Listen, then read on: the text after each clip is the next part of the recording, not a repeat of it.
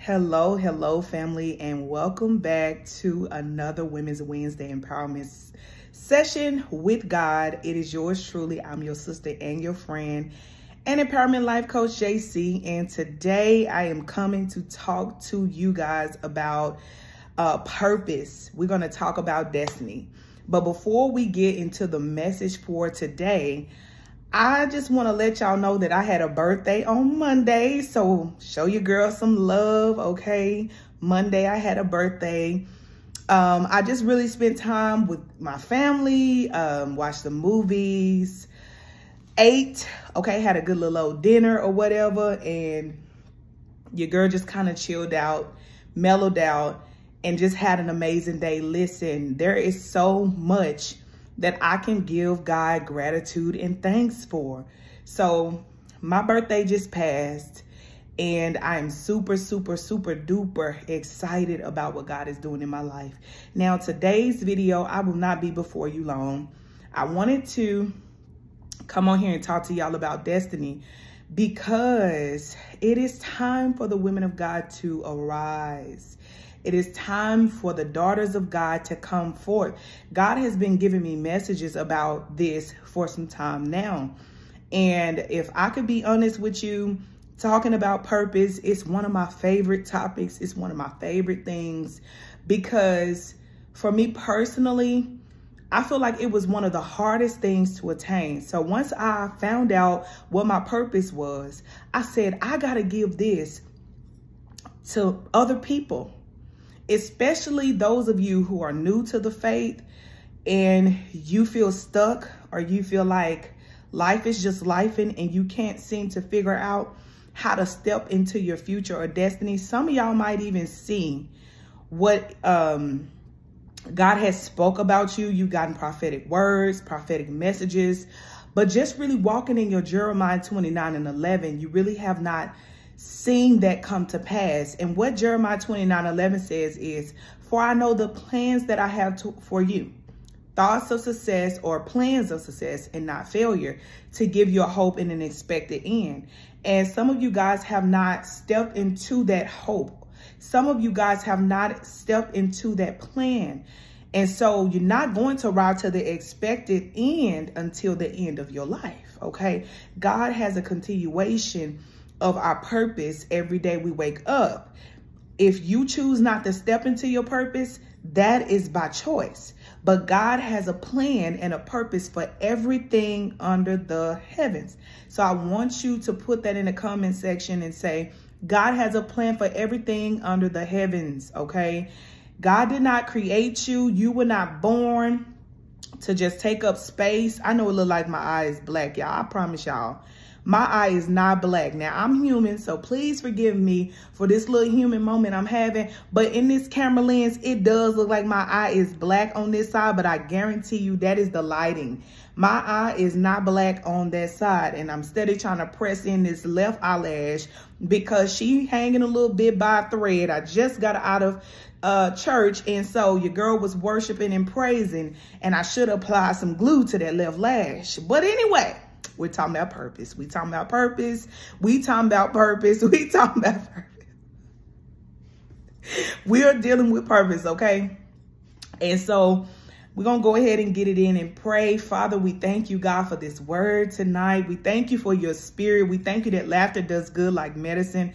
We thank you, God, for your sweet spirit. Now I pray, Father God, let this word Touch the life of your daughter, the daughter that has been searching, the daughter that has been praying and seeking you to step into the things that you have called her to step in, to walk forth and to do it unapologetically, God. I pray that your daughters will take the time to seek you, to, to know what it is that you have planned for them, to know what it is that you have ordained for them to do in the earth, Father. And I pray they would do it unapologetically. I pray that they would do it not afraid. I pray that they will walk fully into the things that you have called them to without wavering, without doubting, without questioning. Is this something that they have the ability to do? And, and may they be reminded that with you, all things are possible, but maybe by themselves, there will be some um, friction trying to do it alone.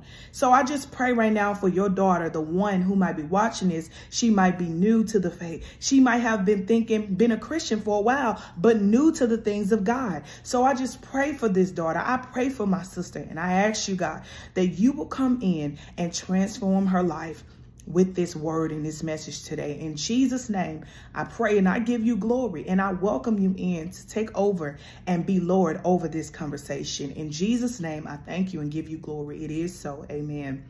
And so as we were talking about purpose, before I started going all in about X, Y, and Z, that didn't have nothing to do with today's message, but every now and then you got to laugh. And if you know me in life and outside the all of this, I'm, I'm likewise just as goofy as I am on camera. And so uh, it's probably a little worse, especially when it's time for me to go to bed. But anyway, let me know first and foremost if you like to laugh. And if so, I think everybody do, unless you're just super serious and you just in your own dark little shadow somewhere in the corner. But if you anything like me, you like to laugh. Also, make sure you let me know how you doing and how you been. Listen, it's been a few days. I haven't talked to y'all in a while. And if I did post a video, I still feel like it's been too long. I am back and purpose is your portion. If you on this channel and you struggling with purpose, I don't want you to be on this channel and struggle with purpose. You won't be connected to me and keep stand, be able to stay in that place because God has equipped me to be able to be a midwife to those women who have been struggling to identify who they really are. Sis, it's time for you to figure out why God put you here. You can't tell me you went through all of that pain. You can't tell me you went through all of that suffering. You can't tell me that you experienced that heartbreak and, and, and it's not supposed to serve your purpose. The Bible says that all things work together for the good of them who love him and who are called according to his purpose. You are called, but but God want to move you from just being called to being chosen, to fulfilling your purpose, to walking in destiny. God never intended for you to stay in a place of pain and a place where you consistently just going through cycles of defeat and setback. God wants to change your story. In the words of Jekalyn Carr, y'all know that song, God is changing my story. Listen, God want to change your story. God wants to give you a story that can shift the life of other people. But he first got to get you to awake to who you are.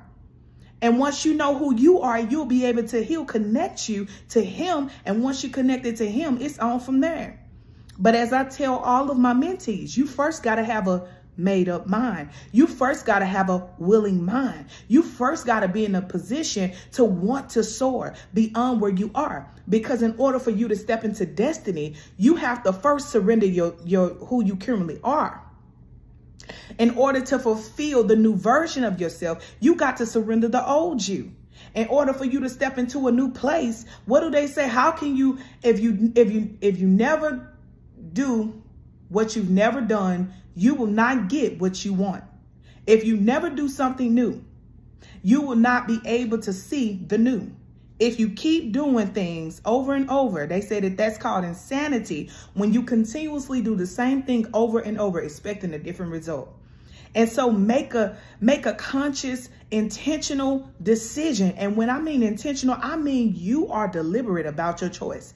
You stepping into your destiny, you got to want that thing better than you want to breathe. You got to want that thing better than you want to eat. You got to want that thing better than you want to talk. You got to want that thing better than you want anything else. Because when you get that desperation in you, when you get that hunger in you, that hunger and thirst after God for his righteousness, when you get that hunger to seek the kingdom and his righteousness and all these things will be added unto you. When you get that hunger in you and that thirst in you for the things of God, listen, baby, ain't nobody going to be able to take that hunger out of you. You're going to become unstoppable. Everything around you is going to be impacted. Everything around you is going to take off. Everything around you going to begin to catapult all because of the decision you made to God to walk in your freedom, to walk in your blessed place, to walk in your elevation, to receive the portion of the Lord called destiny, to receive your portion of the Lord called purpose, okay? And in order for you to tap in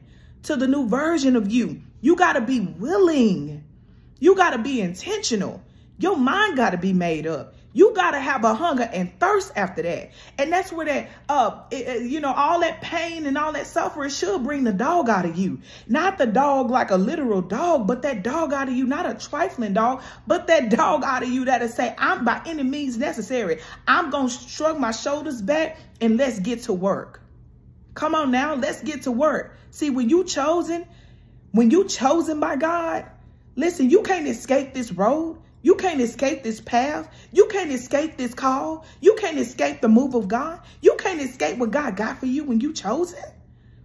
Listen, you're going to have to get to a place of desperation. Don't let this pain you feel. Don't let this, don't let this trials you keep experiencing be for nothing, sweetheart. Don't let the pain you feel and the sufferings you had to endure be for nothing. Don't you know that the Bible says that I reckon that the sufferings of this present time is not worthy to be compared to the glory that shall be revealed in us. So suffering is for glory. Suffering is for glory. The Bible says that Jesus had to suffer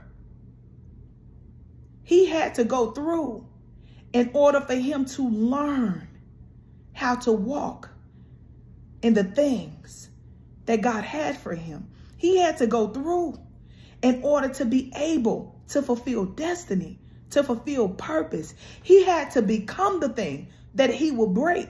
And to all my curse breakers and all my chosen ones and all of the women of God on this channel, that decided I'm rising up in my power. Listen, you got to become that thing you're going to end up breaking one day. You got to become the very thing that you're going to end up being a, a, a, um, a giant slayer over. You got to become that thing that God is going to give you. He's going to give you the authority over. You got to become it first. And when you become it and when you surrender, God is going to then give you the fortitude and the authority to break it. And when you break it, you're going to become unstoppable. When he give you the authority, you're going to become unmovable. When he give you the anointing, you're going to begin to walk in your chosen place and take your seat as a chosen child of God. But you cannot do that if you are too comfortable with conformality and familiarity. Somebody put that in the uh, comment section. You cannot be comfortable with where you at. Sis, you got to be willing to rise up. You got to be willing to face fear. You got to be willing to be tired of sick. You got to be tired of being sick and tired. Listen, because only in that place, when you sick of it, you know how they say sick of it? I'm sick of it. When you sick of it and you come to the end of yourself and you say, you know what? I know he got something better for me. I know greater is in store. I know there is more for me than what I see. I know that greater is he that's within me than he that's in the world. I know. And you got to rise above all of this so that you can begin to walk in the bigger picture. You got to rise all of, uh, above the pain, above the hurt, above the disappointment, above your father not being in your life, above your mother not being there for you. She might have raised you, but she didn't pour into you the things that you felt like you needed to become a woman. You, you, you, you might have been molested. You might have been, you might have went through uh, being sexually assaulted. You might have went through incest in your bloodline. You might have went through uh, um, um, of all of these things. You might have lost your houses, cars, and you might have not been able to hold a job, and you might not have been able to sustain things in your personal life. But when you surrender to the plan God have for you, see, he been talking to you all along. See, God ain't no halfway God. God ain't no God that that that's just talking to you when you when you finally decide to start following him. God is the type of God that even when he formed you in your mother's womb, like he told Jeremiah, I foreknew you. Bruh, I already knew you would be a prophet to the nations. You was in heaven with me before you ever touched your mother's womb. So I know you. I know you. And I was already talking to you, speaking over the word. I, I watched over you. Because the Bible says that God watches over his own word to perform it. So he watched over you while you were incubating in the womb of your mother, while you were just a seed incubating in the womb of your mother. God had already spoke over you. He already said what you would do before you were in there. And when you got in there, he kept watching over the word. You are the word. He spoke you into existence. How do you think you made it here? Because anything that God does, he does it with time. He does it with speed. He does it through commanding his authority. He, he does it through speaking a thing. When he started us in the beginning, he said, let there be. He spoke it. And just like the word in the beginning, the same word watching over you.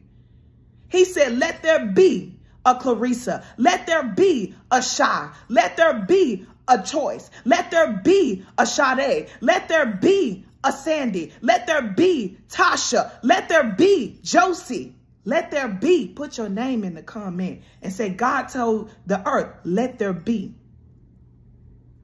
Let it be, and it was so. You came forth out of the mouth of God.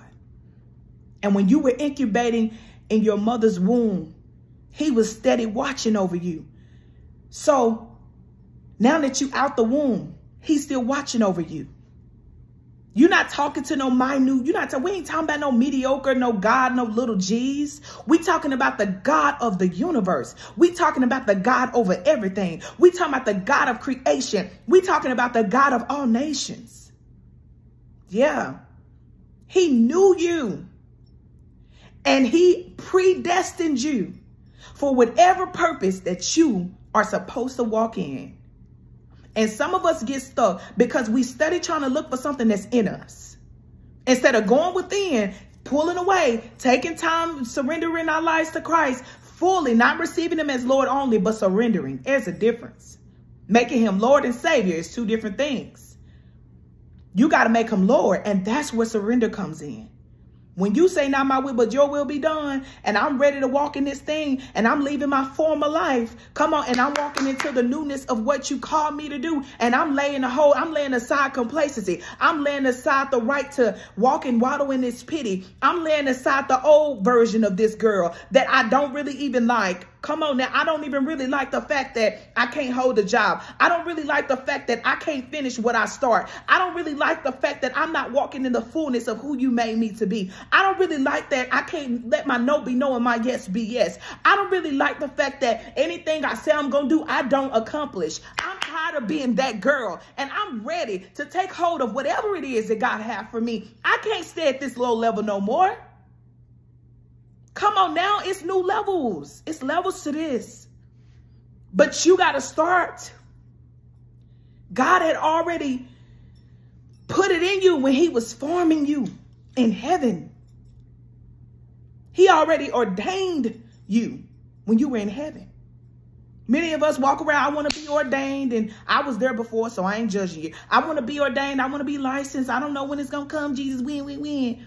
And the truth of the matter is that you got to be sold out to walk in, ordain, in the ordained place. Let God ordain you in the spirit. Remember, he already ordained you. So let that ordination take place in the spirit before you try to get it on paper. I don't know who needs to hear that. Because he first birthed you in the spirit before you were ever birthed in the natural circumstances, right? The spirit man is birth first. The spiritual things are birth first through you, and then the natural things will follow. Okay? All right, now I ain't fussing. I'm just trying to give you some wisdom tonight because I want you to know it's already in you.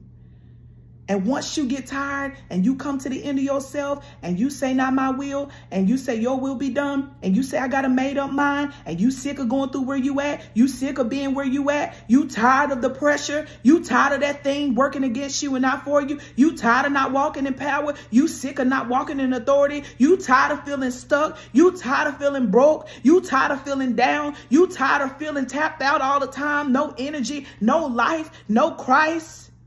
No peace, no joy, no Holy Ghost.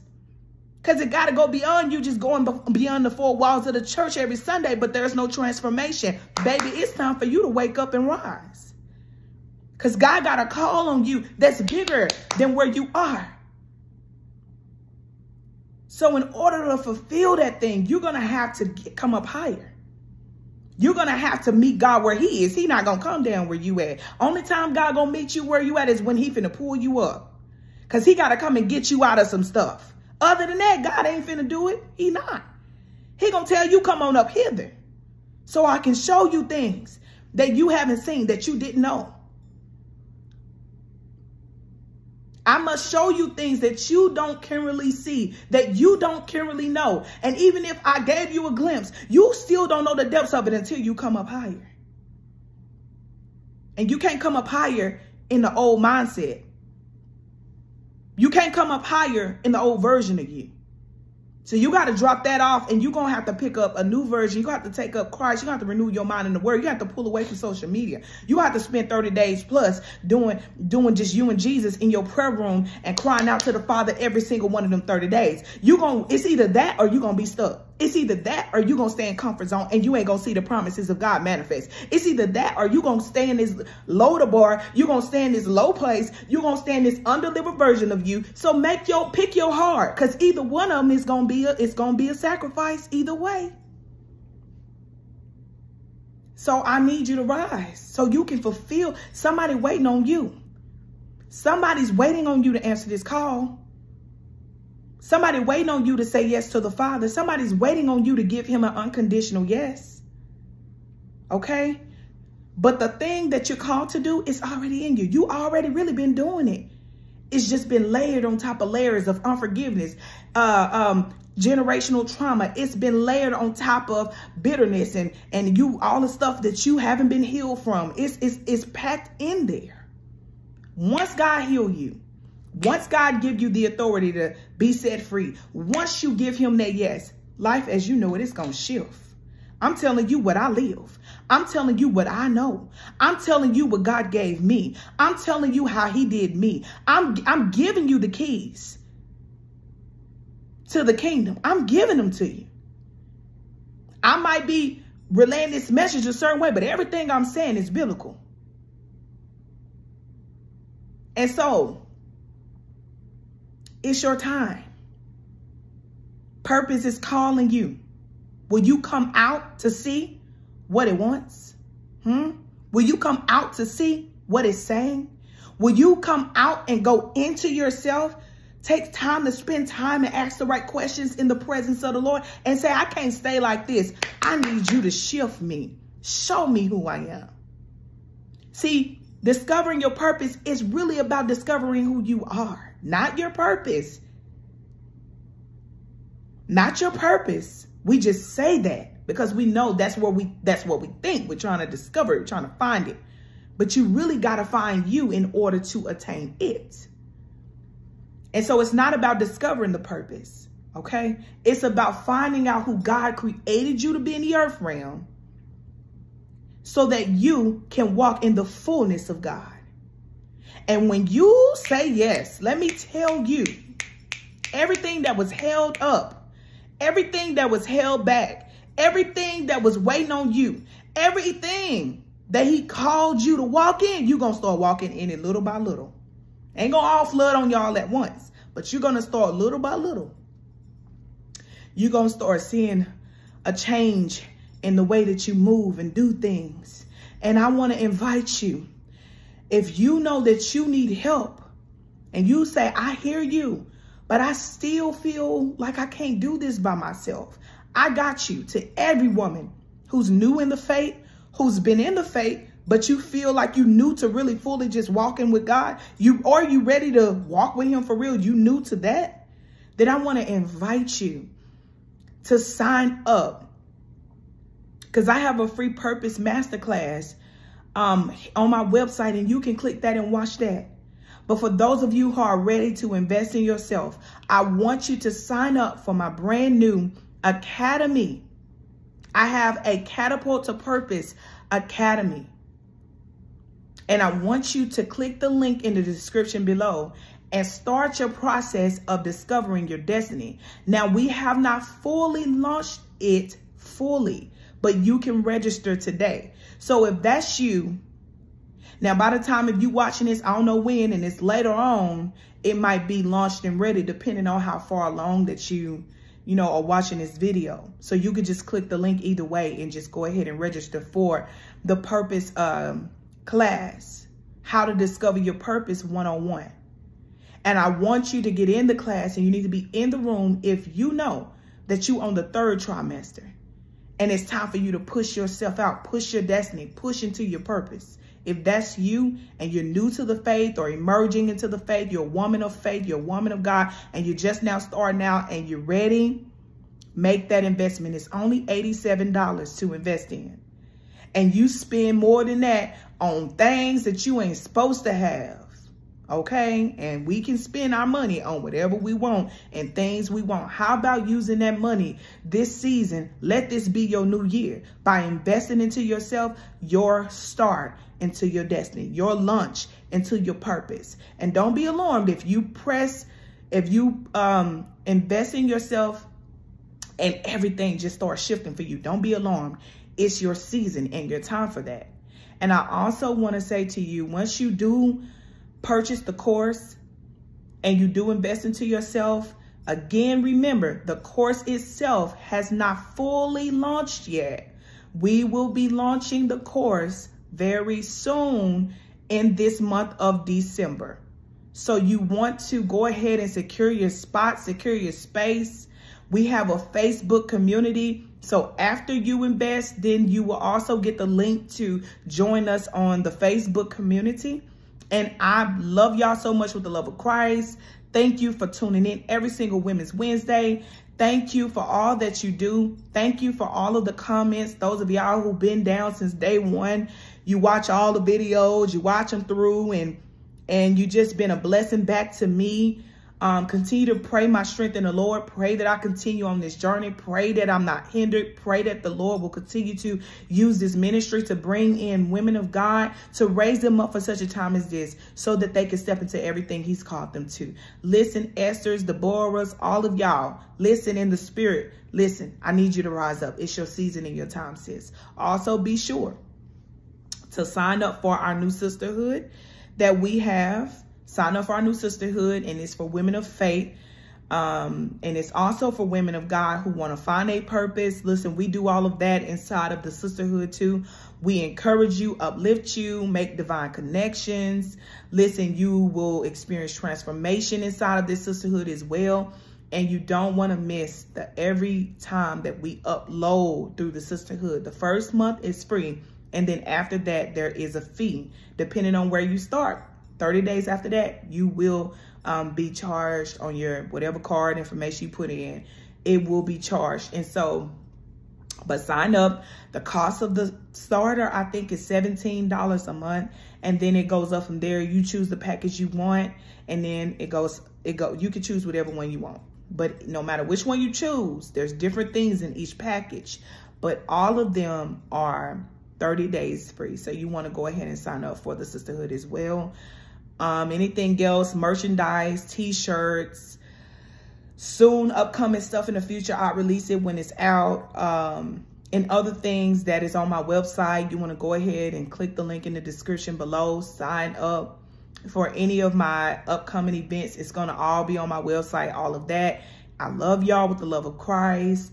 Um, thank you guys so much for tuning in. And I look forward to seeing y'all beautiful ladies, or you can't see me. You can see me, but I can't see you. Unless you comment in in the section, be like, hey girl, then I'm going to answer. I'm going to holler back at you. But I love y'all so much with the love of Christ. And I'll see you sis in the next video. Bye-bye.